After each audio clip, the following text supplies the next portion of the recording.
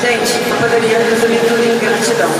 Gratidão a todos que fazem parte desse projeto maravilhoso, um projeto que transformou a minha vida, mas transformou de todas as maneiras possíveis.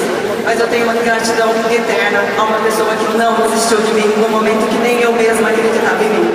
Eu sou grata porque ele fez o desejo de me fazer me voltar a sonhar quando eu já não tinha mais sonhos. Eu estava aí há seis meses atrás, no Innovation em São Paulo, nesse lugar aí atrás, e eu ouvi do palco a mesma mensagem que o João Apolinário passou hoje. O impossível é uma questão de opinião. E eu saí desse evento decidida, com a fé decidida, que no próximo evento eu estaria aqui. Eu não admitiria ver os diamantes aqui e eu do lado de fora. E aqui eu tô. Douglas, obrigada Douglas. Você é mais do que um patrocinador, Douglas. Para mim você virou a minha família. Obrigada por nunca desistir de mim. Te amo demais.